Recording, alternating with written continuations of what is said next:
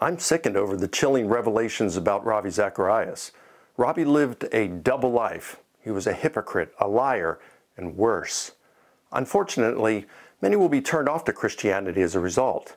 They don't necessarily have problems with Jesus, they have problems with many of his followers. Even worse, some Christians will begin to doubt whether Christianity is true because one of its most prominent advocates lacked integrity. In view of the surprising revelations about Ravi, there are three important points followers of Jesus should consider.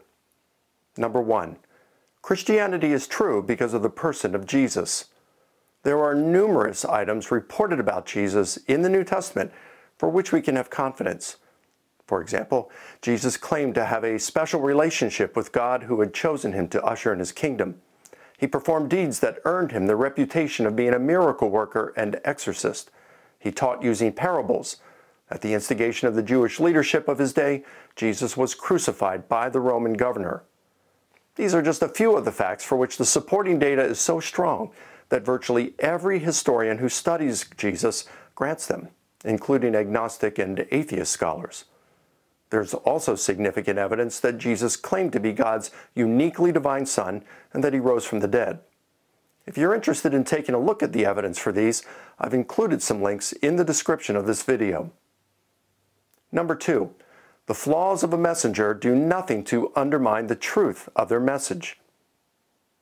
A messenger's character flaws may hinder the receptivity of his or her message. However, they do not undermine the truth of the message. If Jesus rose from the dead, it's game, set, match. Christianity's true, period. Ravi Zacharias' serious moral failures have no relation to the evidence for Jesus, his resurrection, and his message any more than the Reverend Dr. Martin Luther King Jr.'s marital affairs are related to his message on civil rights. People have public platforms because they have exceptional skills in a certain area, such as athletics, the performing arts, politics, teaching, or leadership. Those skills, impressive as they may be, do nothing to make one a better person. Pastors and theologians usually have a more thorough understanding of the Bible than do those who sit in their pews. Yet, understanding the Bible does not in itself foster spiritual maturity. Understanding the Bible and living out what it says are entirely different matters.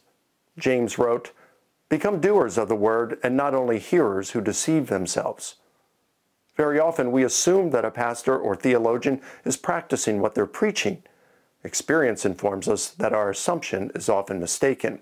Our faith in Christ should be based on our relationship with Christ and because there's evidence supporting the truth of Christianity. Our faith should not be grounded in the word of a celebrity, even if he or she is a respected Christian. So if your faith is shaken when light is cast on the moral failures of a Christian leader you respected, it's a good time to ask yourself, why?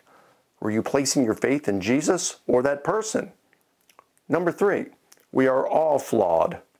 This is not at all to excuse or lessen the magnitude of what Ravi did. We should require those who teach the Bible that they practice what they preach. God holds accountable to a higher standard those who teach the Bible. The letter of James also states, Do not become teachers in large numbers, my brothers, knowing that we who are teachers will receive stricter judgment. And Hebrews 13:4 reads, Marriage must be honored among all, and the marriage bed kept undefiled, for God will judge sexually immoral people and adulterers. So Ravi Zacharias will answer to God for his sexual misconduct and abuse. That said, we should keep in mind that all of us will be judged. The Apostle Paul wrote, all will appear before God's judgment seat, and each of us will give an account of himself to God. You may not be a celebrated proponent of Christianity like Ravi Zacharias was. However, if you claim to be a follower of Jesus and you're engaged in sexual immorality, you're going to answer to God as well, although you won't be judged as strictly. May this disappointing revelation pertaining to Ravi challenge all of us who follow Jesus to live a life in a manner worthy of the Lord. And may it serve as a sober warning to those of us who teach the Bible that we will be judged more strictly by the Lord. I want to praise the International Board of Directors of RZIM for having a thorough investigation conducted for making public the results of that investigation without edits and for their contrite heart.